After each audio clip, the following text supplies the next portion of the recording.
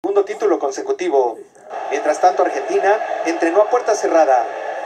Hoy el presidente de la FIFA aseguró que el Mundial de Qatar ha sido un éxito y anunció que se jugará un nuevo Mundial de Clubes con más equipos.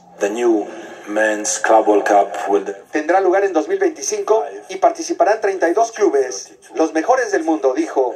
Será como este mundial, pero con los equipos que juegan en las ligas nacionales y estarán representadas las diferentes confederaciones de FIFA.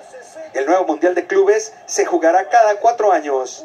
I have to say that after uh, Gianni Infantino también dijo que para el mundial de 2026, el primero con 48 selecciones nacionales, se volverá a discutir cómo será el formato de grupos, porque inicialmente se dijo que serían grupos de tres equipos.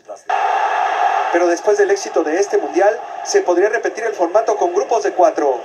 A falta de dos partidos, el presidente de la FIFA asegura que la Copa Mundial de Qatar 2022 es la más exitosa de la historia.